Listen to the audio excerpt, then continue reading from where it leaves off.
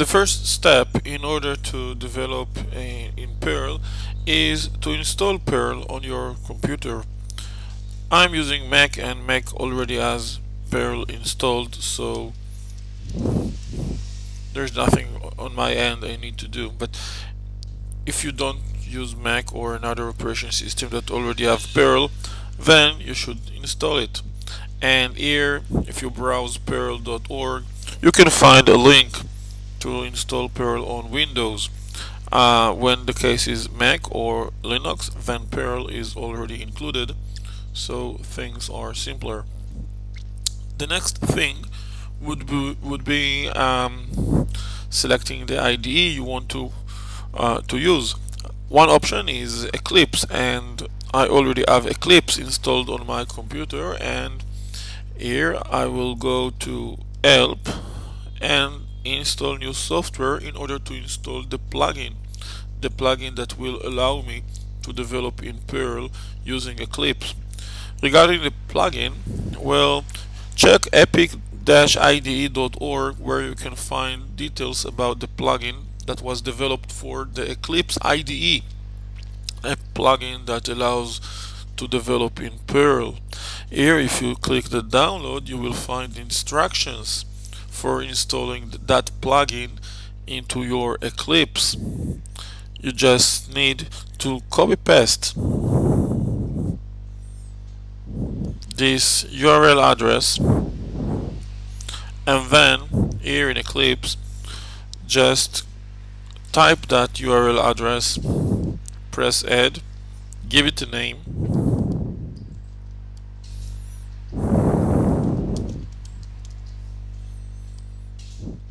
and then select this in order to install it.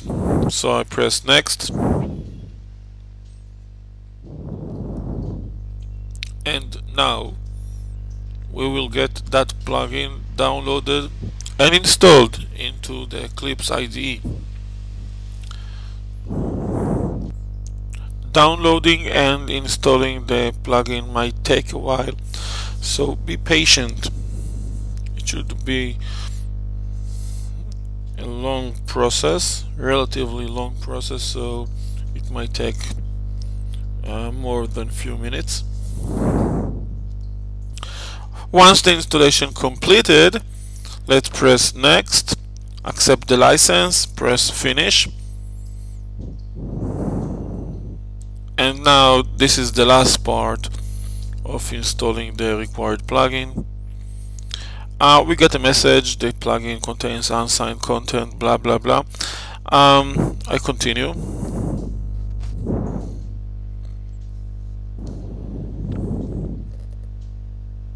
Okay now we need to restart the Eclipse in order for the installation to take effect. So let's uh, restart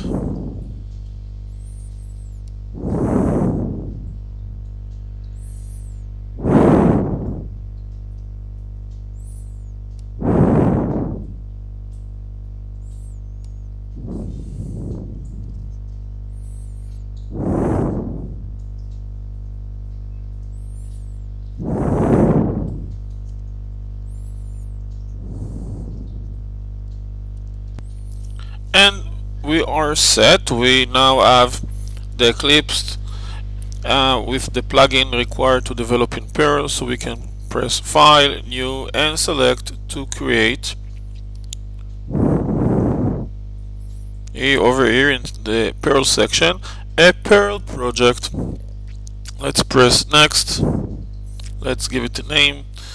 Uh, project will be called um, Perl samples.